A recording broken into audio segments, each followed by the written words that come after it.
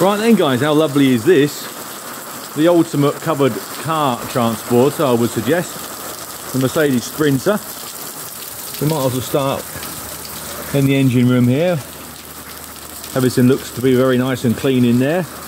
The lads have just taken some photographs for you. Blimey, we've even got leather in here. Wow. Woohoo! How fancy is that? Look at that. Gee whiz. That is nice, isn't it? Tachograph we've got up there. Yes, if you're hire and reward, guys, unfortunately, it's um, she's on tacho, as obviously. So what is she? Uh, let's have a look. Can't see for looking. She is. She is. She is. She is. She is. You can't see that very well, can you? Without coming out of there. Yeah, that's better. Right. So she is. Gross weight. She's five and a half ton, guys. So uh, yeah, five and a half ton. I'm just looking for train weight anywhere. 2022 rigid. Have we got a train weight anywhere? I may tell you the train weight, just in case you guys want to tow with it. Now looking, five and a half ton gross weight. It weighs just short of three ton.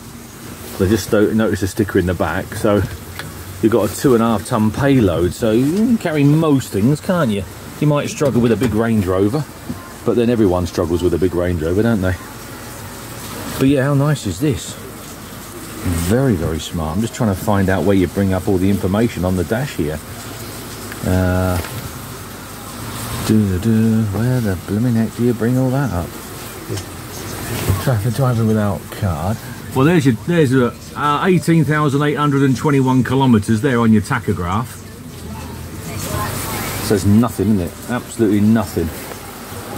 And it still is mint inside. Very, very smart.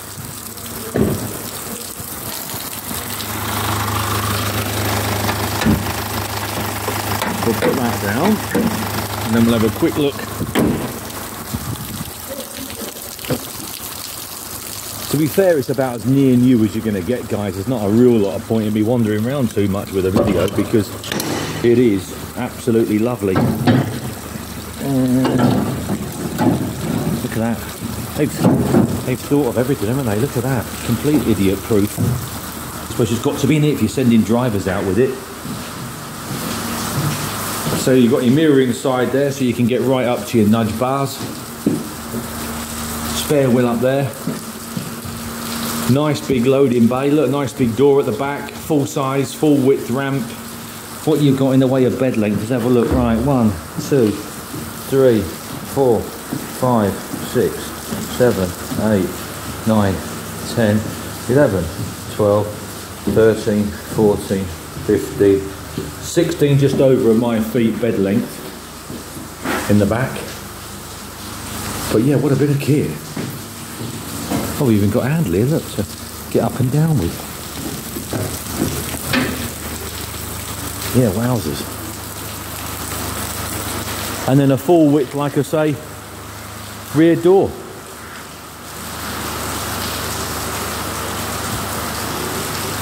So yeah, if you've got an expensive race car, classic car, historic car that you want to move about. Or if you're doing that high-end stuff, that real nice stuff that has to be covered, you can't take it out uncovered. I mean, look at the weather today. I mean, horrendous. It has not stopped raining all day. All day it's been like that. We're all soaking wet. Jack especially, poor lad. It has been like that just about all day. So how can you possibly move some of this high-end stuff about without something like that? You can't, can you? So there you go, guys. I can't tell you a great deal more. You know the score. Hate to think what it would have cost you. Thousands, I would have thought. Company must have lost thousands, mustn't they? But there you go. It's here on display. If you want probably the nicest condition covered transporter that's available today for the sort of money that we're talking, come down, have a look, see what you think, go from there.